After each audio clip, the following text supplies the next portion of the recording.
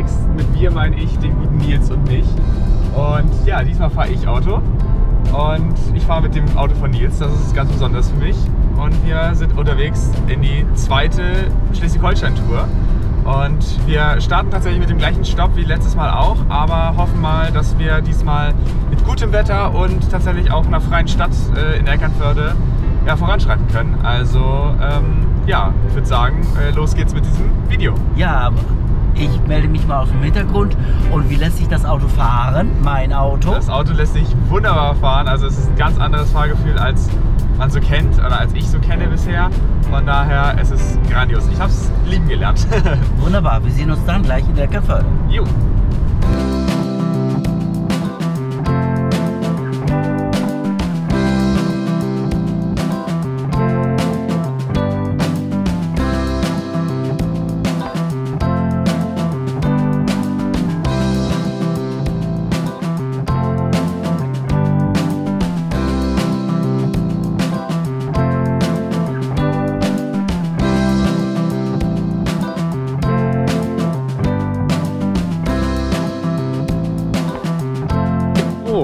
Da sind wir. In Eckernförde. Ja. Oh, es hat ewig gedauert, bis wir den Parkplatz gefunden haben, aber wir haben jetzt tatsächlich ganz einfachen letzten Parkplatz. Moment. Ja, wirklich. Da sagt der Nils so, da ist ein Parkplatz. Ich so ritsch, ratsch rum und dann ging's in die Parklücke rein. Hat funktioniert und jetzt ja, gehen wir mal ein bisschen durch Eckernförde und schauen uns Eckernförde an. Genau.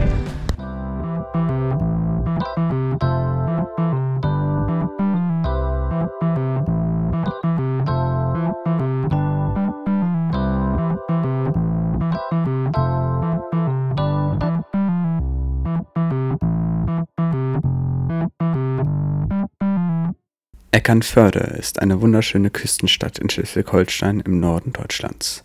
Die an der Ostseeküste gelegene Stadt ist für ihre malerischen Strände, den charmanten Hafen und ihr maritimes Erbe bekannt. Die Stadt hat eine reiche Geschichte, die bis ins Mittelalter zurückreicht. Und in den historischen Gebäuden und der Architektur lassen sich noch immer Überreste ihrer Vergangenheit erkennen. Eines der bemerkenswertesten Wahrzeichen von Eckernförde ist das Rathaus, ein beeindruckendes Gebäude im Herzen der Stadt. Im Hafengebiet herrscht reges Treiben, besonders in den Sommermonaten, wenn Touristen in Scharen die Sonne, das Meer und frische Meeresfrüchte genießen. Auch für Segelbegeisterte ist Eckernförde mit seiner malerischen Küste und den hervorragenden Segelbedingungen ein beliebtes Reiseziel. Die Stadt veranstaltet das ganze Jahr über verschiedene Veranstaltungen und Festivals, die ihre maritime Kultur und ihr Erbe feiern. Insgesamt bietet Eckernförde eine perfekte Mischung aus Geschichte, natürlicher Schönheit und Charme am Meer und ist damit ein reizvolles Reiseziel für Reisende, die Entspannung und kulturelle Entdeckung suchen.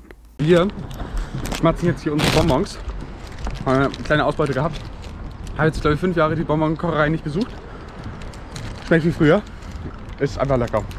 Super. Bin Spaß. Ist wirklich mega. Und jetzt gehen wir langsam zurück. Okay. Mhm. Morgen auf den Hüpfen. ja.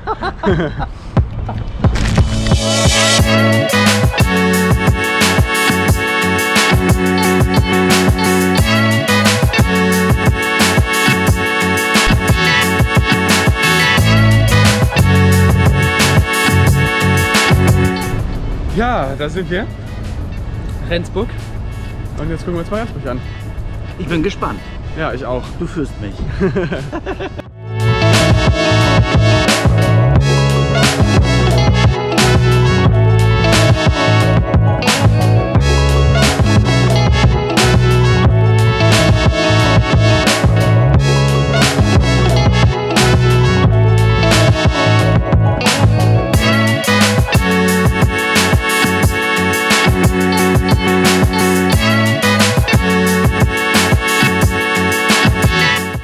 Rendsburg ist eine Stadt an der Eider.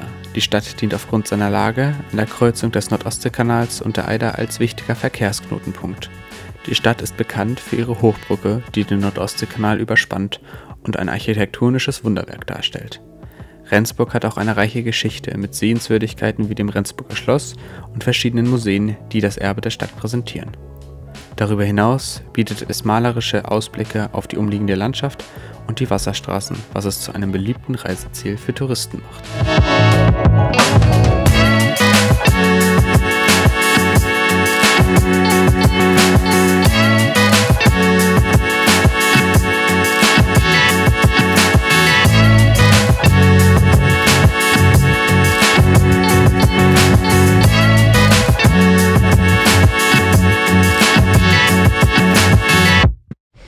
Ja, wir sitzen jetzt schon wieder im Auto. Was sagst du zu Rendsburg? Ich bin begeistert. Es war schönes Wetter. Jetzt das doof, aber ich habe viel gesehen, viel erlebt durch ihn. Ja.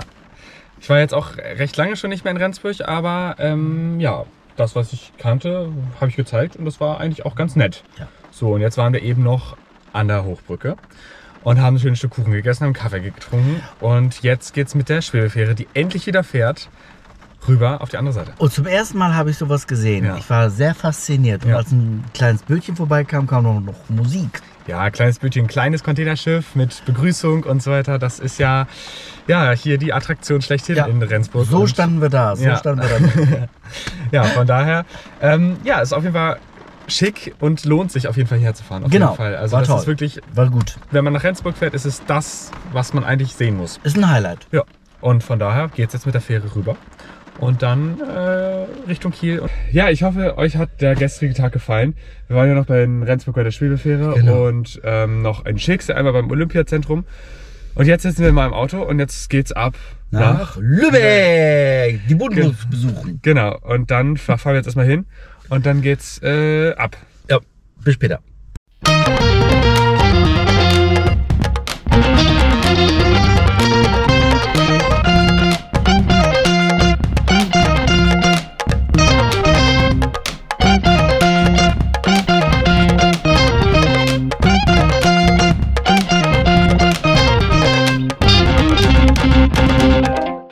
Wir sind jetzt hier an einem ganz besonderen Ort für mich. Wir sind nämlich noch gar nicht ganz in Lübeck, sondern wir sind jetzt erstmal in Ratekau und bei Surfervan. Und ich wollte mir schon immer mal die, die Busse anschauen hier und jetzt sind wir da und es ist einfach ein Paradies. Es ist einfach Paradies, hier einfach mal so ähm, neben dem Riptide Pro, Pro zu stehen. Also ich habe mich auch dekadent daneben gestellt, aber ähm, ich liebe es einfach. Es ist grandios. Also jetzt gibt es noch ein paar schöne Eindrücke von den Bussen hier. Ich, ich finde es crazy.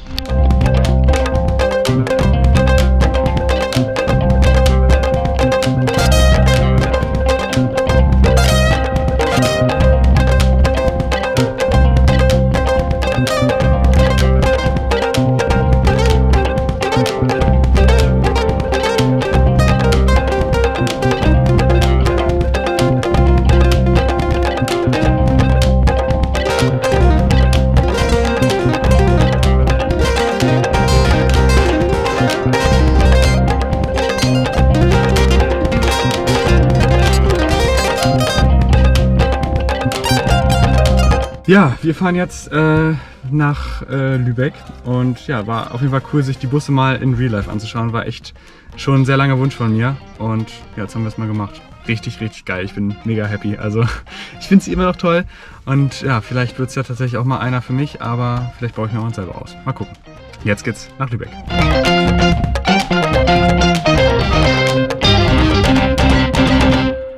So, wir machen heute eine richtig schöne Touri-Tour durch Lübeck und ja, guck mal, was wir so finden. Ja, genau. Bin auf jeden Fall gespannt. Erstmal Holzentor hier. Ja, ja. Gleich nebenan. Ja, so sieht's aus.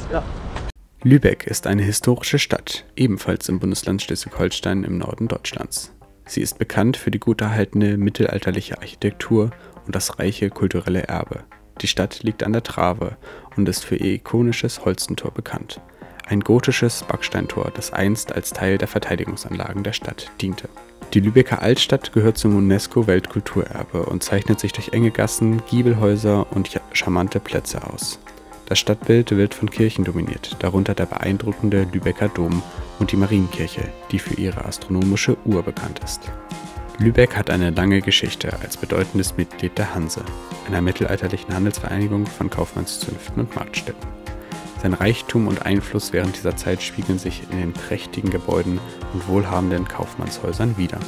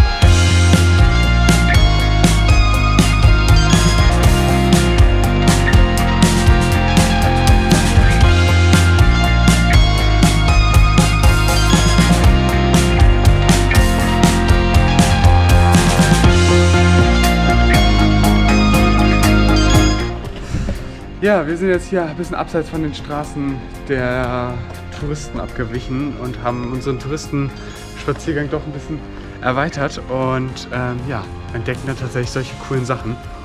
Ähm, ist tatsächlich richtig, richtig cool. Es macht richtig Spaß, hier durchzuwandern, so viele Sachen zu entdecken und tatsächlich auch einfach mal ein paar andere Straßen auszuprobieren, als so die klassischen.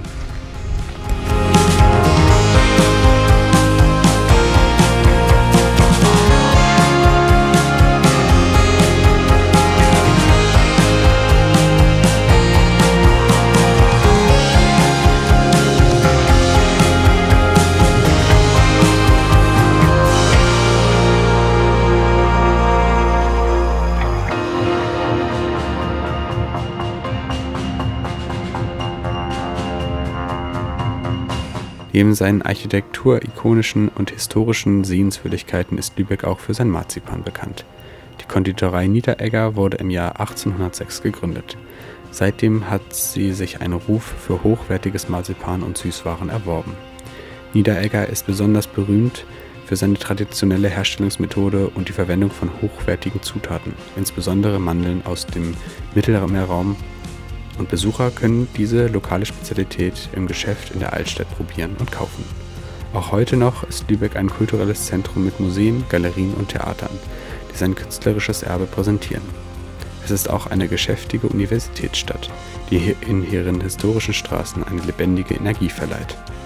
Insgesamt ist Lübeck ein faszinierendes Reiseziel für Reisende, die sich für Geschichte, Architektur und kulturelle Entdeckung interessieren und einen Einblick in die mittelalterliche Vergangenheit Deutschlands bekommen möchten.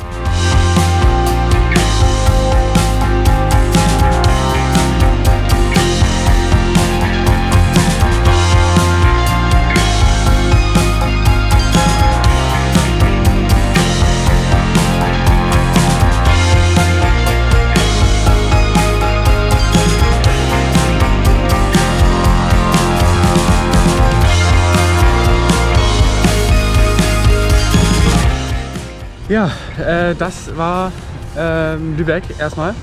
Wir machen uns langsam wieder auf den Heimweg. Und ähm, ja, war sehr schön auf jeden Fall. Viel gesehen, viel erlebt. Ja, Ne? Muss man wirklich sagen. Sehr schön, lohnt sich auf herzukommen. jeden Fall. Also es war auch nochmal richtig schön. Das ist vorhin das Wetter spielt damit, es ist warm. Es ist einfach wunder wunderschön, von daher. Ja. Ähm, ja, so sieht's aus auf jeden Fall. Und jetzt äh, machen wir uns auf den Heimweg, oder? Jetzt geht's zurück nach Kiel. Los geht's.